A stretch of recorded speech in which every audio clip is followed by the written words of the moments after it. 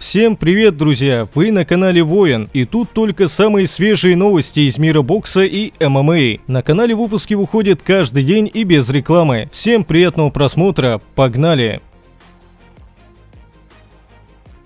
Отец Тайсона Фьюри, Джон Фьюри, рассказал, кто по праву должен стать соперником цыганского короля в следующем поединке. Я говорил сыну, что он даже не тратил время на других боксеров. Как по мне, Тайсон должен искать либо Усика, либо никого. Дальше либо Усик, либо никто. Остальные меня не волнуют. Они не на одном уровне с Тайсоном. Он даже не сможет найти мотивацию на другие поединки.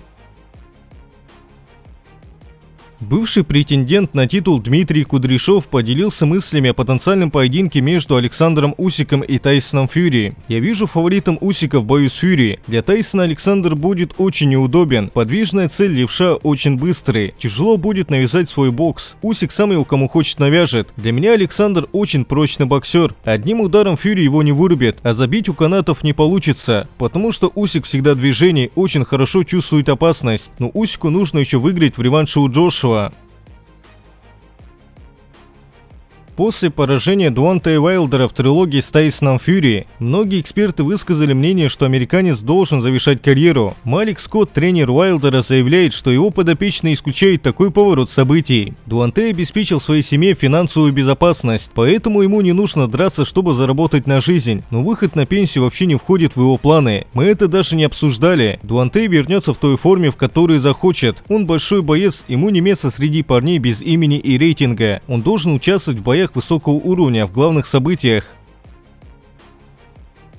Главный редактор The Ring Дуглас Фишер высказался о перспективах Дуанта и Уайлдера после поражения в трилогии с Тайсоном Фьюри. Неясно, что Уайлдеру дальше делать. Если бы у меня была волшебная палочка, то я бы вывел его на Энтони Джошуа. Но бизнес и политика не дадут мне этого сделать, хотя и Джошуа является опасным вариантом после такого тяжелого боя. Уайлдер против Энди Руиса мог бы собрать пеперю, но Энди сейчас рискованный шаг. Мне кажется, что в PBC пойдут безопасным путем и выберут Адама Ковнацки. Да, это не лучше возвращение, но Уайлдер заслужил его.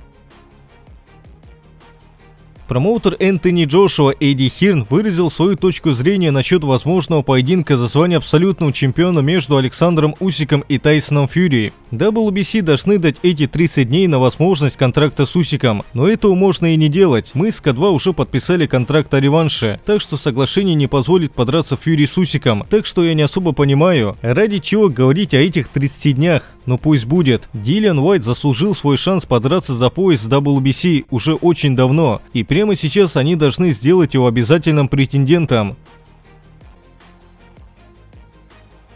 А на этом у меня все, друзья. Большое спасибо за просмотр. Поддержите это видео своим бойцовским лайком. Пишите в комментариях, что вы думаете обо всем этом. И подписывайтесь на канал. Всем крепкого здоровья и увидимся завтра. Всем пока.